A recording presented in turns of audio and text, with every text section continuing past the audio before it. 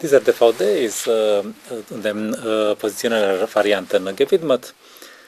Was nennen wir äh, durch äh, positionelle Varianten?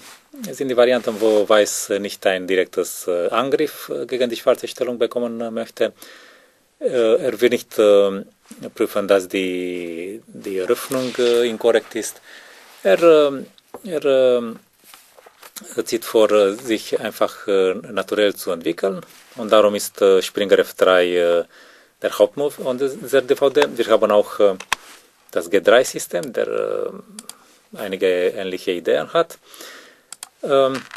Also möchte Weiß sich ganz langsam und naturell entwickeln, so wie die Klassiker sagten, ein oder zwei Bauernzüge in der Eröffnung, dann die Springer entwickeln, nur, nur danach die, die Läufer, rochieren, die Türme konnektieren, dann die Türme nach dem Zentrum zu, zu bringen. All das würde mit Läufer 2, Läufer 3, Rochade, Dame 2 machen. Das, würde, das ist äh, eigentlich äh, ein gutes Beispiel für äh, was Weiß Klassi auf klassischer Weise, sich entwickeln kann.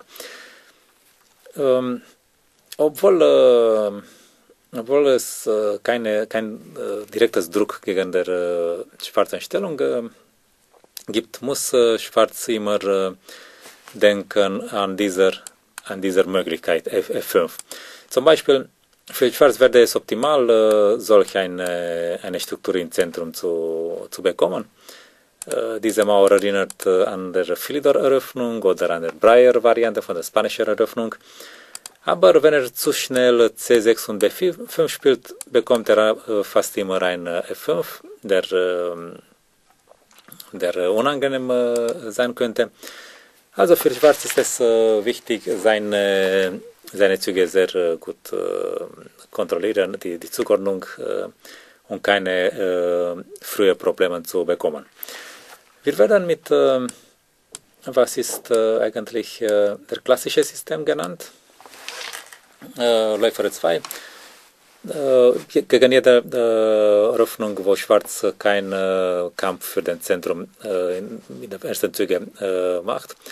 es gibt ein System, der als klassisch genannt ist.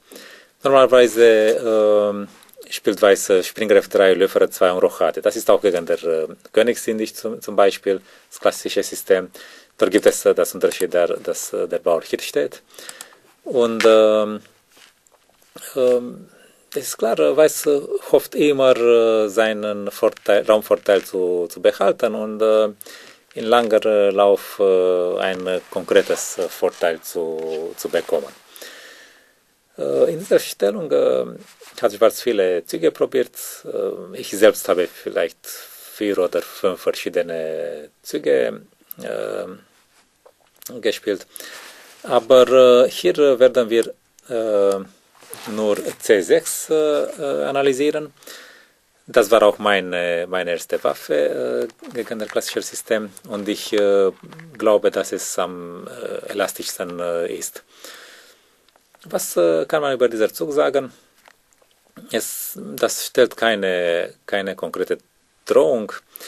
Äh, Im Prinzip B5 konnte schon gespielt sein, aber dann würde, oh, aber dann würde F5 sehr, sehr stark äh, und es waren einige Spieler, so wie Hort zum Beispiel, der äh, B5 äh, am siebenten Zug spielte und äh, immer das es ihm erlaubte.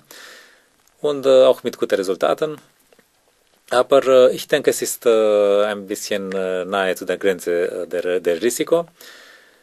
Ähm, aber es gibt auch mehr abstrakte Ideen mit, mit dieser Zug konnektiert. erstens, hat Schwarz jetzt ein, sein Kontrollzentrum ein bisschen verbreitet. Dann äh, öffnet er diese Diagonale für die Dame und äh, eigentlich äh, die, äh, räumt dieses Feld für, für die Dame. In manchen Varianten kann der Springer dort, äh, dort gehen. Äh, wir, wir, werden sehen, was das heißt. Ähm, denn ich habe schon gesagt, dass F5 äh, sehr wichtig für Schwarz ist, da auf dieser Weise äh, das weiße F4, F5 gestoppt äh, würde. Und äh, es scheint logisch, logisch äh, Springer D7 zu spielen. Aber es gibt ein kleines Problem. Es gibt F5. Und jetzt zum Beispiel, wenn äh, Schwarz äh, so spielt, dann äh, äh, verliert er äh, auf dieser Weise. Äh, dieser dieser Springer ist gefesselt und leider kann Schwarz dieser Zug nicht spielen, da der Bauer noch auf C7 steht. Also hier können wir sehen, dass das C6 in, vielen Fällen nützlich sein kann. Oder wenn, wenn Schwarz mehr flexibel spielt, Springer E8, Läufer F4, äh, um weiteres äh, entwickeln zu, zu machen, muss Schwarz C6 sowieso spielen und dann äh, später diese Manöver durchzuführen. Aber dann kann, mich, kann, man, kann, können wir uns fragen, warum nicht erst C6 und dann werden wir noch sehen, was, was passiert. vielleicht macht Weiß einen Zug, der nicht so nützlich ist, denn hier kann er einfach diesen Läufer 4 ohne, ohne andere äh, kleine neutralische Züge äh, zu vorbereiten. Also C6 von diesem Standpunkt ist äh, ganz flexibel. Und äh, jetzt äh, möchte ich ein bisschen äh, über die weiße, das weiße Konzept sprechen.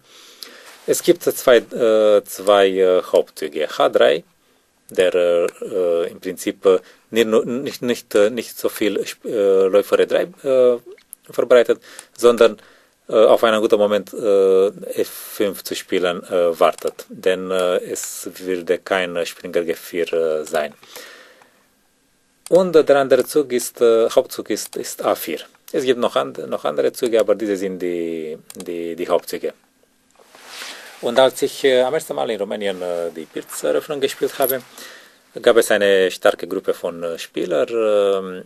Äh, erstens Nisipanu und Levente Voida und dann auch der, sein, ihr Trainer Konstantin Ionescu. Sie dachten, dass Weiß keine Zeit braucht, H3 zu spielen. er möchte gerne Läufer 3 ohne dieser vorbereitenden Zug spielen, aber, aber mit Läufer 3 äh, gleich gibt es ein Problem, dann ginge schon B5, da E5 nicht so stark äh, wegen Springer geführt äh, würde und der äh, Läufer ist äh, exponiert hier. Also A4, das möchte Läufer E3 vorbereiten. Und ähm, ich muss sagen, dass ähm, ich äh, unter starkem Druck in mein eigenes äh, Heimatland Land, äh, mich fühlte. Aber ich habe durch ein System äh, durchgeführt, äh, wo, äh, wo Schwarz kohärentes Spiel halt hatte. Das, das dachte ich eigentlich. Ich möchte H3 und A4 auf selber Weise antworten. Und zwar so wie, so wie früher gesagt, die klassischen Capablanca, Lechin sagten, erst die Springer und dann, dann die, die Läufer zu, zu entwickeln. Also dachte ich, dass auch hier dieser Zug am besten ist. Und ich hatte solch eine, solch eine Variante analysiert, H3. Äh, es gibt einige Details, weil, äh, warum äh, Springer D2 gleich nicht ganz so gut ist, aber das ist nicht wichtig, denn diese, diese Variante wird nicht in unserem Repertoire sein. Ich möchte nur zeigen, mein Hauptproblem mit dieser langen und alten Analyse von, von mir. Wir können hier sehen, dass diese Stellung, diese Stellung schwarz ganz hypermodern Schach spielt. Und meine Analyse begann von äh, diesem Moment.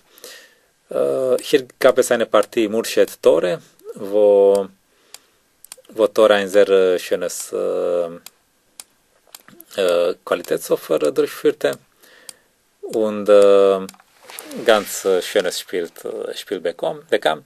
Es gibt diese Schwächung und dann noch auch die lange Diagonale mit ausgezeichnetem Spiel für, für Schwarz.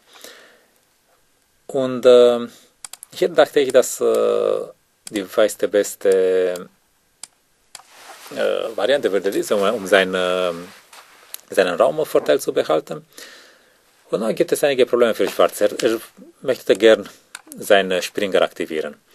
Aber das kann man nicht gleich machen, da damit es nicht äh, so bequem ist. Und dann fand ich dieser Zug. Es gibt ein, es eine Fesselung auf dieser Diagonale und äh, eine Drohung, einen Bauern zu, auf F5 zu gewinnen. Und ich äh, spielte dieser Zug in einige Partien, äh, zum Beispiel meine Partie mit Braga ging auf diese Weise. Und hier können wir ganz gut bemerken, dass Schwarz ausgezeichnetes Spiel hat. Von der weißen Zentrum ist äh, fast nichts äh, äh, geblieben, nur, äh, nur äh, Schwächungen auf der E-Linie. Aber äh, gibt es hier ein, ein kleines, und auch Turm F3 würde, hatte ich ganz, ganz gut analysiert. Hier muss Weiß tauschen, um Material nicht zu zu verlieren und dann würden die, die schwarzen Figuren sehr aktiv. Auch diese Variante ist, ist bequem. Aber dann finde ich dieser Zug, Dame 1, wo leider äh, diese Operation nicht mehr äh, funktioniert, da Schwarz einen, eine Figur verliert. Und, äh, und wenn, wenn so, dann um Dame H4 mit Springer F5 zu antworten, dann würde G4 sehr stark. Und Schwarz hat keinen Gegenspiel, er hat keinen Raum, er steht einfach, einfach schlechter. Das, das war ein ernsthaftes Problem, das, wenn ich das bemerkt habe. Und ähm, ich habe noch ein Problem, dass äh, gegen H3, ich wollte auch äh, ganz gerne Springer D7 spielen, und, aber dann waren diese Varianten, äh, ich habe diese Variante in äh, einige Partien gespielt, vier Partien vielleicht, gegen äh, starke äh, Gegner. Ich habe sogar äh, plus eins äh, gemacht, aber bin ich nicht ganz zufrieden ähm, in der Stellung. Ein bisschen passiv spielbar, aber, aber ein bisschen passiv für Schwarz vielleicht. Eigentlich können Sie einen Artikel auf dieser DVD finden, wo ich das analysiert habe. Ähm, aber ähm, äh, also gab es einige Probleme mit Springer BD7 nach H3 und, und A4. Und äh, ich habe vor einigen Monaten äh, eine Partie von Ivanchuk äh, gesehen, Hari Krishna Ivanchuk eigentlich, wo Ivanchuk Dame C7 spielte. Ist interessant, ich dachte, dass Dame C7 vielleicht äh, illogisch ist. Äh, Schwarz hat seinen Damenflügel nicht entwickelt und jetzt äh, zieht er mit den Dame. Vom klassischen Standpunkt ist das nicht, äh, nicht so gut, aber äh, das kann in vielen sizilianischen Systemen passieren. Zum Beispiel in der Paulsen spielt äh, Schwarz äh, Dame C7 ganz früh und die sizilianische äh, Verteidigung ist eine, eine offene, eine konkrete Variante. Also wenn das äh, in der Sizilianisch äh, möglich ist, warum sollte es nicht äh, auch in der, in der Birz? Die Idee ist einfach, äh, äh, F5 vorzubereiten und äh, diesen Läufer noch offen zu lassen. Wir werden später sehen, warum diese wichtig sind. jetzt werde ich nur erwähnen, dass ich Dame C7 gegen beiden Hauptvarianten äh, gewählt habe, als die, äh, als die angenehmsten für, äh, für Schwarz. Äh, wir werden noch äh, solche Züge sehen, diese sind less, less kritisch und less populär, diese der Läufer, Läufer F4. Aber die, die Hauptvarianten bleiben noch immer, noch immer diese, diese zwei.